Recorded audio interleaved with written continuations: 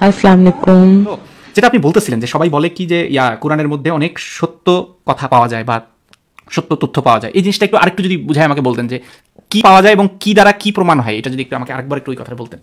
তো জি মানে আমি বলতে চাচ্ছিলাম মানে আমার কথা না মানে আমি মানে আলেমদের কথা আর কি যেটা শুনছি সেটা। আহ, সেটা হলো যে নর্মালি তো ধরেন আলেমরা যেটা বলেন যে কোরআন শরীফের থেকে তো বিভিন্ন রেফারেন্স যখন দেয় মানে ধরেন যেটা বিজ্ঞান দ্বারা প্রমাণিত কিন্তু সেই রেফারেন্সটা যখন ধরেন চোদ্দশো বছর সাড়ে চোদ্দশো বছর আগের তো তখন হচ্ছে ওইখানে একটা মানে যে যুক্তি যেটা হচ্ছে বলা হয় যে এটা তো চোদ্দশো বছর বা সাড়ে চোদ্দশো বছর আগে একজন মানুষের পক্ষে জানার কথা না বা অথবা দেখা গেল যে হ্যাঁ হইতে পারে যে এই ব্যাপারটা ওই টাইমেও কিছু মানুষ ধারণা ছিল কিন্তু এতগুলা সাইন্টিফিক ইনফরমেশন তো একজন মানুষ যিনি নিরক্ষর যিনি পড়াশোনা করার সুযোগ পান নাই তার পক্ষে জানা সম্ভব না এবং সে হইতেছে তুলে ধরছে। মানে যদি নবীজি এটা করে থাকেন তো ওই ওই ব্যাপারটা আর কি আপনার কাছে জানতে আচ্ছা আচ্ছা আপনার কি আচ্ছা, মতামত? বুঝতে পারছি বুঝতে পারছি। দেখেন এটা একটা চমৎকার একটা দিক না যে পৃথিবীর সর্বশ্রেষ্ঠ মানুষ বলে আপনি যাকে বিশ্বাস করেন সে নিরক্ষর বা সে সে অশিক্ষিত, অথচ সেইটাকেও আপনারা দেখেন, ওইটা, ওইটার পক্ষে আপনার একটা চমৎকার একটা যুক্তি আছে যে তিনি নিরক্ষর এই কারণেই যে তিনি যদি মানে শিক্ষিত কেউ হইতো তাহলে তো সবাই বলতো যে এটা বানায় বানায় লিখছে। সো এই জন্যই আল্লাহ এরকম একজন নিরক্ষর অশিক্ষিত মানুষকে বেছে নিছে যা নবী হিসেবে। এটা আপনাদের পক্ষে আর কি আপনাদের যুক্তিটা। এটা খুবই চমৎকার যে সে যদি শিক্ষিত হইতো তখন কইতেন যে দেখছ দেখছ কত শিক্ষিত। আর যেহেতু সে অশিক মানে নিরক্ষর তখন আপনার পক্ষে একটা চমৎকার কথা যে আল্লাহ এটা বাছাই করছে। খুব ভালো চমৎকার ব্যাপার না। অল্প কিছু লিখতে পারতেন লিখতে বলতে কি? লিখতে বলতে লিখতে পারার ইতিহাস আমি পাইনি কোথাও। লিখতে পারার কথা কোথাও পাইনি যেটা বলা আছে যে চিঠি লিখে পাঠাইছি। ধরেন আমি বললাম যে হাসান ভাই আমি আপনাকে একটা চিঠি লিখে পাঠাচ্ছি। আমি ডাকপিয়ন আমি পত্রবাহক মারফত চিঠিটি আপনাকে লিখিয়া পাঠাইলাম। আশা করি সুকৌশলে রহিয়াছেন হাসান ভাই। এটা লিখে পাঠাইলাম হ্যাঁ? এর মানে এই, এইরকম কথা যদি কোথাও উল্লেখ থাকে যে আমি হাসান ভাইকে চিঠি লিখছি। আচ্ছা হাসান ভাই, আপনি কি বুঝবেন যে আসলে আমি নিজ হাতেই লিখছি চিঠিটা? ও না সেটা বুঝব হ্যাঁ, এই তো, তাই না? কাছে শুনছিলাম যে একটা লেখার এরকম হাদিস হ্যাঁ। পাওয়া যায়। হাদিস পাওয়া যায় যে চিঠি লিখছি মানে নিজে লিখছি অন্য কিছু লিখছি তা না চিঠি লেখার হাদিস পাওয়া যায় সেটা দ্বারা এটা প্রমাণ হয় না যে সে নিজে লিখছে চিঠি তো ভাই যে কেউ যে কাউকে দিয়ে লেখানো যেতে পারে যেমন আপনি দেখবেন গাজী গাজী ওনার নাম কি গাজী কিনা জানি না ফরিদ ফরিদ ফরিদুদ্দিন মাসুদ যিনি ওই যে সোলাকিয়ার ইমাম ছিলেন যে এখন কোথায়। কোন পদে আছে জানি না এখন বোধহয় ইসলামিক ফাউন্ডেশনও আছে বোধহয় উনি ওনার নিজের বক্তব্য ওনার নিজের কাছে শোনা এই হাদিসটার একটা আর কি রেওয়ায়েত যে একটা ওই চুক্তি হচ্ছিল যখন, ওরা বলতেছিল, দুশ্মনেরা বলতেছিল যে, আমরা এখানে রাসুলুল্লাহ লিখব না। কেন? রাসুলুল্লাহ যদি লিখি, তারা যদি আমরা আল্লাহ রাসুল হিসেবে মাইনে নেই, তাহলে আমরা কি করে তার, কি জন্য তার সাথে আমার তাহলে লড়াই আর হবে? আর কি জন্য বা তার সাথে চুক্তি হবে? তাহলে তো আমরা মানি না। সো রাসুলুল্লাহ এখানে থাকবে না। তখন তার সাহাবিরা বলল, আলী বলল, অন্যরা বলল যে, আমরা এই রাসুলুল্লাহ লেখা এখান থেকে কাটবো না। মানে মিশাবো না। এখানে যা আছে তাই থাকবে। এটা এটা মিশানো হবে না। তখন নবীজি বলল, কোথায় লেখা আছে? আমাকে দেখাও। ওই জায়গাটা আমার, আমাকে দেখা দাও, আমি মুছে দিচ্ছি। তখন দেখা দিল যে, এই যে এইটা, এটা হচ্ছে এইটা। তখন সে মুছে দিছে। এই হাদিসটার অন্য বর্ণনায় আছে যে নবীজি নিজে মুছে দিল বাট অ্যাকচুয়ালি মুছে দেওয়ার কাহিনীটা কিন্তু এই যে এইভাবে। এটা আমার বর্ণনা না, বা আমি বলতেছি না, আমি হাদিসটা, এটা হচ্ছে ওই ওনার কাছ থেকে শোনা, এটা এটা পত্রিকাতেও আসছে, ওনার ওই বক্তব্যটা পরবর্তীতে পত্রিকাতে নিউজ আকারে দিচ্ছে আর কি যে নবীজি হচ্ছে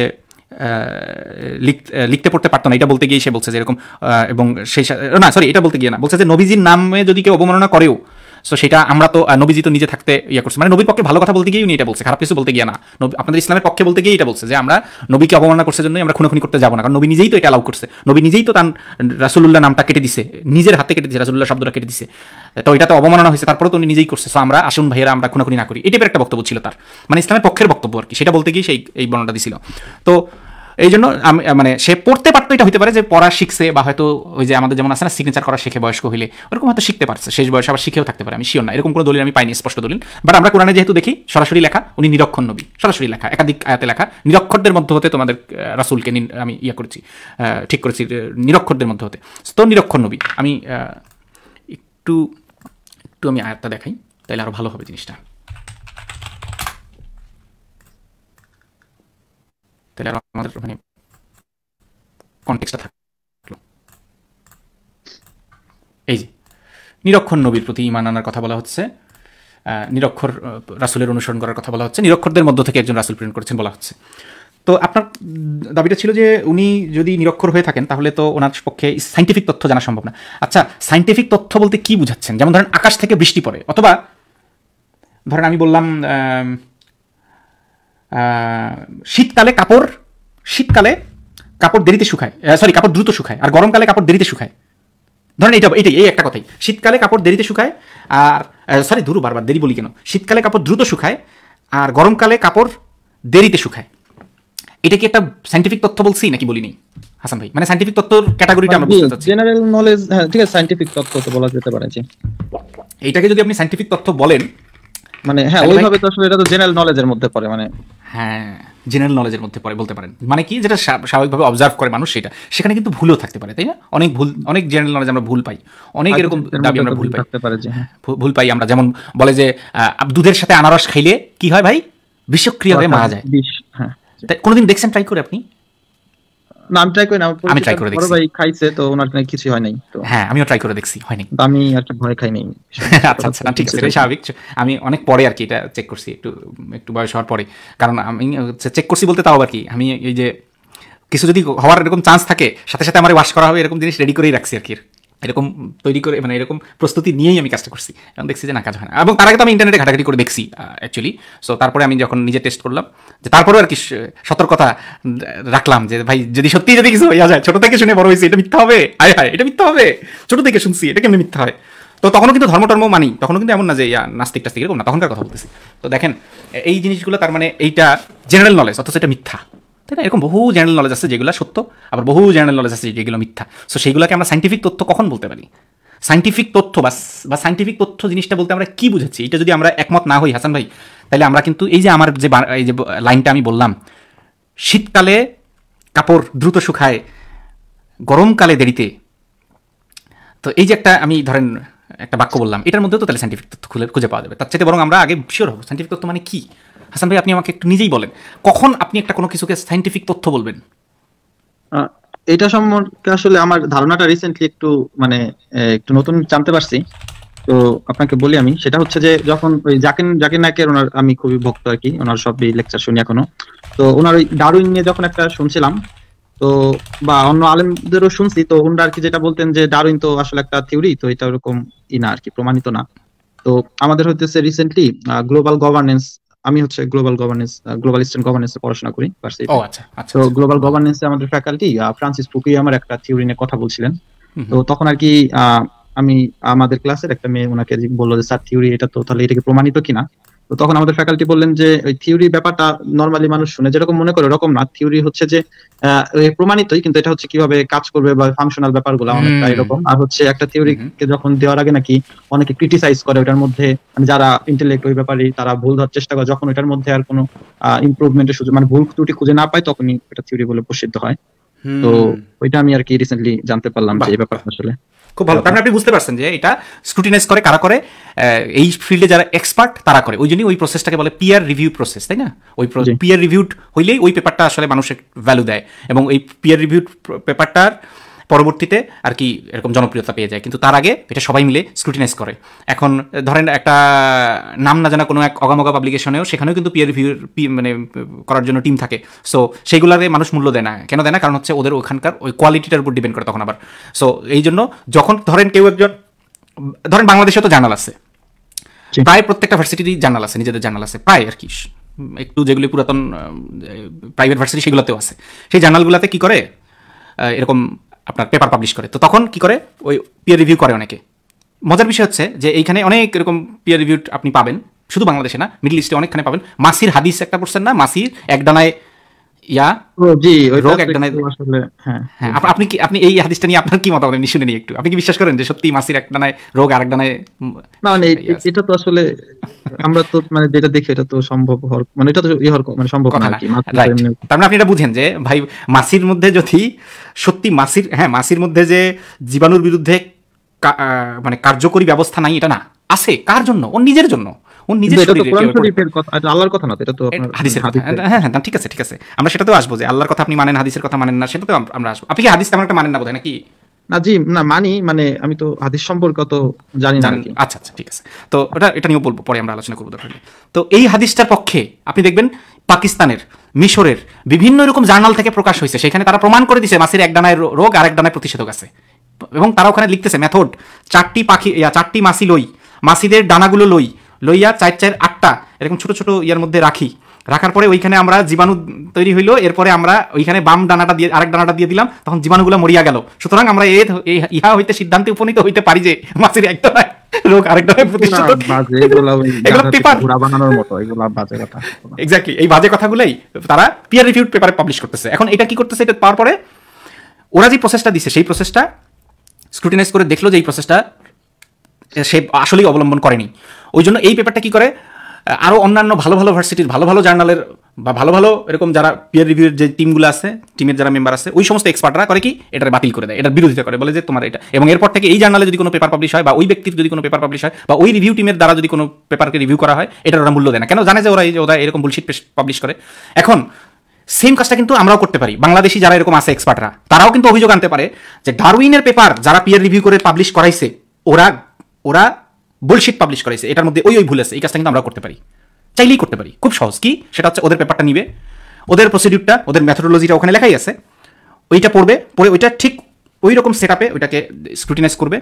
মানে পরীক্ষণ, পর্যবেক্ষণ, সিদ্ধান্ত গ্রহণ। জাস্ট সাইন্টিফিক মেথডটা সিম্পলি সেটা ফলো করবে। করে দেখাবে যে এই অ্যান্সার আসে না। ব্যাস!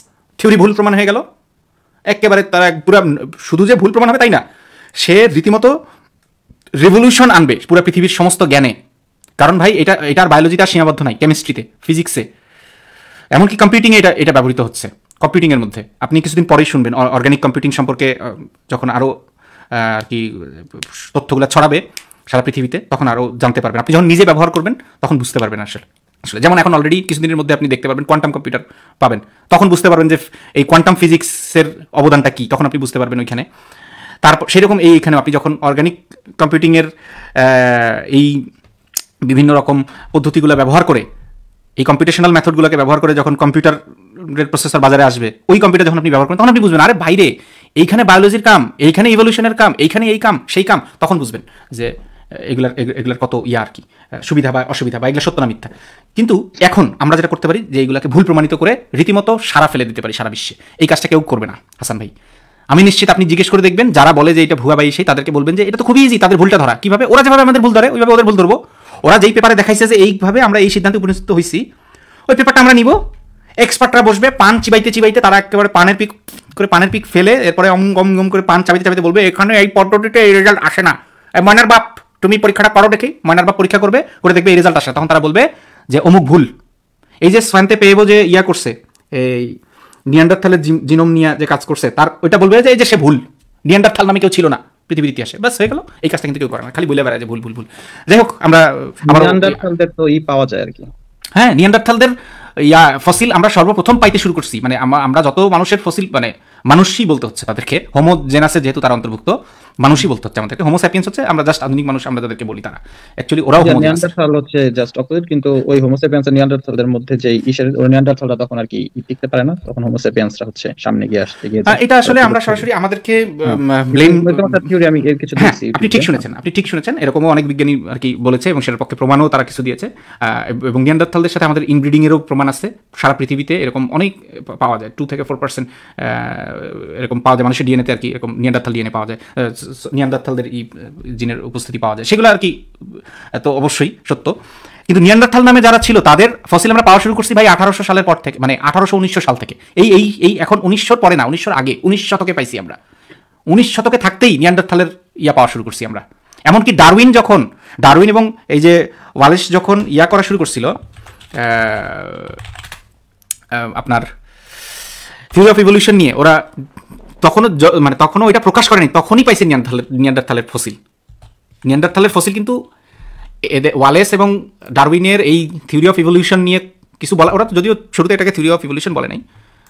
যাই হোক, তো এই যে প্রজাতির উদ্ভব, এইটা নিয়ে যে ওরা বলতেছিল, তার আগেই নিয়ান্ডারথালের ইয়া পাওয়া গেছে, ফসিল পাওয়া গেছে। কিন্তু এটার নাম তখন জানতো না। মানুষ বলতো, এটা আবার কেমন মানুষ? হয়তো এটা অন্যরকম মানুষ। পরে আরও পাওয়া গেছে যখন আঠারোশো তিরিশের দিকে, আঠারোশো তিরিশের দশকে পাইলো, আবার আঠারোশো পঞ্চাশের দশকে আরেকটা পাইলো, যখন তখন বুঝলো যে এরা নিয়ান্ডারথাল এবং মজার বিষয় হইতেছে এই ইভলিউশন সম্পর্কে না জান নাই, না জান নেই যে কার্ল লিনিয়াস যে তার যে যে ইয়া, আরে শ্রেণীবিন্যাসের যে আটটা ধাপ যে বইলা গেছিল, সেই সেই ধাপের মধ্যে এই মানুষের কাছাকাছি কিন্তু বান্দর টান্দর যা আছে সবগুলার এক এক শ্রেণীভুক্ত করে গেছিল।